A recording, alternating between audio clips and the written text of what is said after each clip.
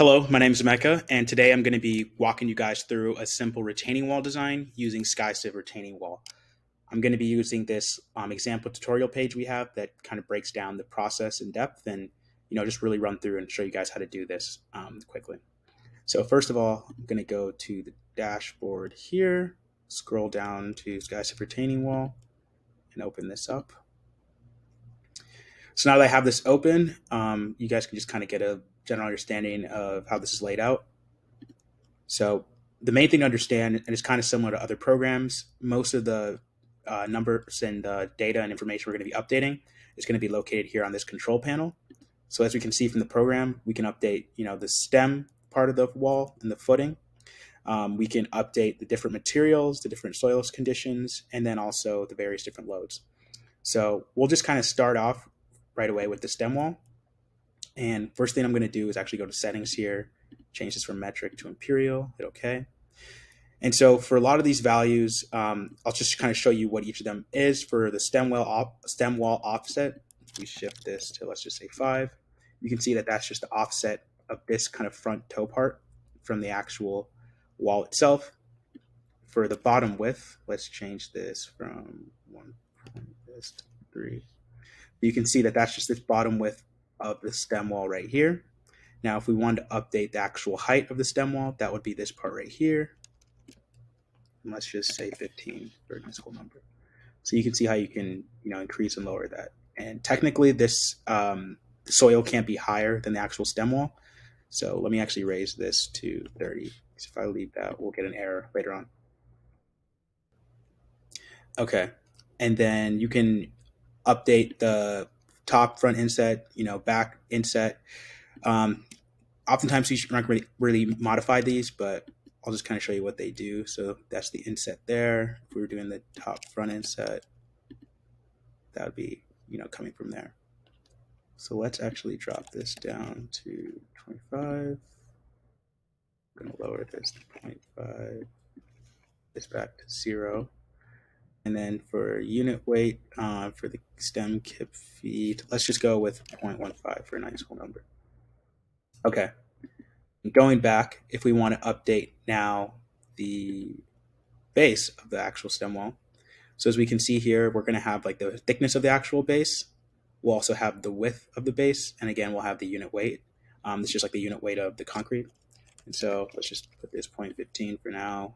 Um, so if we wanted the width to be, say, 14 instead of 17.4 where it's at now, and we can see how we decrease that width there.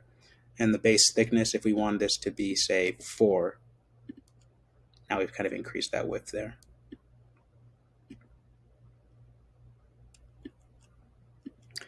And then we can go back, and the key height, increasing how tall this might be. We could say, okay, I want this to be, say, 5. But I'm actually going to bring this back to 0. But yeah, this is just kind of update the key. But oftentimes I don't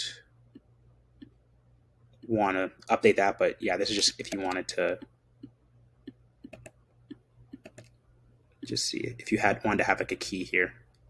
But I'm going to set these down to 0. I typically don't feature those in my design. And so now that we're done with that, the next stage is listing out what the materials are. so there's going to be kind of two things to keep in mind here. The first is that you're going to need to define the material at each of the three different layers or soil zones, and all of the soil zones that are defined are the passive soil zone, substructure zone, active soil zone. Um, if you go to the documentation, we lay out a lot more information on how to actually design this and you know what each zone is and how it can impact a retaining wall and then more importantly, you know, only certain soils can be available for certain zones. Like I know the substructure zone, for instance, can only be or can only be made of certain soils, and that's just um, typical design engineering considerations. So this goes more. We go more into detail in our documentation, but just for now, I'm going to show you guys how to update the material. So right now we currently have three different materials um, already laid out for the zones. I'll just create a new one so you can see how to do that. So this four will be new soil. I'll just say, um, we'll call this one gravel just for this say that color. So you can update the friction angle of the actual soil and the unit weight. This you'll get from just the geotechnical report or properties of the soil that you're given. Um, and you can also update, you know, the concrete soil friction or allowable bearing pressure, etc. But once we've had, let's say we've decided, defined all our different soil capacity, uh, our soil values, you know, we can update these for the loam, medium clay and sand, or whatever else the soil conditions you're going to have. We will go to the actual layers. And so, as we mentioned before, you're going to have the active soil zone, the passive soil zone, and the substructure zone. So going back to here in the active zone, currently they're using soil type one, which is that medium clay. Say I wanted to shift that to the gravel, you can see how this has been updated to gravel. And you know, you can do the same with the passive as well as the substructure zone.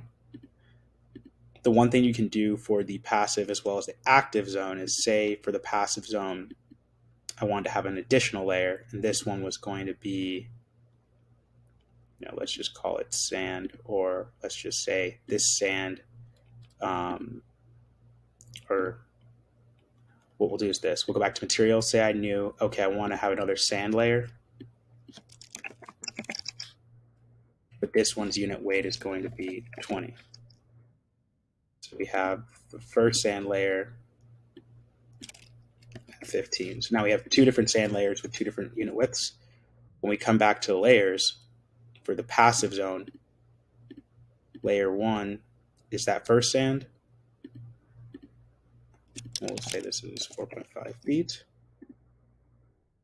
And then that second layer will be the second sand, and we'll put this at 6.5 feet. So you can begin to play around and, you know, if you have different layers at different um, areas, you can update that for the passive and active zone. And then obviously your substructure zone will just be whatever is going to be at the bottom or base of your footing.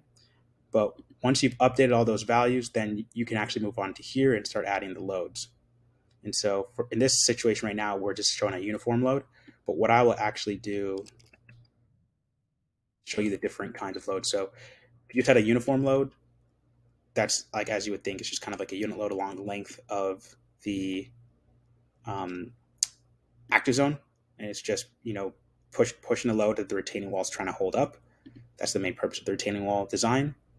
But say I wanted to add a second load, and this one we'll name it a patch load, and I will actually increase the magnitude to negative five, so you can see the difference. We'll go from two to three. So you can see how this one here, you have the uniform load. This one for the patch load is only located um, on a specific, you know, length along the along the soil.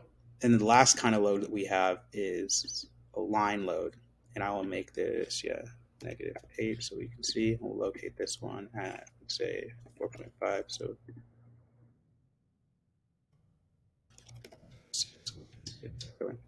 So now you can kind of see the difference. You have that uniform load here, you have the patch load here, and then that kind of linear load is here. You can think of it just almost as a point load at a specific location. But once you've defined your loads, you've kind of come to the final part where you can analyze and print the report. So for here, we'll just put the design checks on. We'll use ACI 19 uh, for concrete. We'll hit analyze.